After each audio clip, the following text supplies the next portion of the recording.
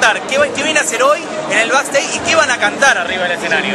Hola, ¿cómo estamos? Bueno, vamos a cantar un medley, medley, como lo quieran pronunciar, un es lo medley, mismo, digamos. señora, de Pasajero, justamente, la obra de Stu.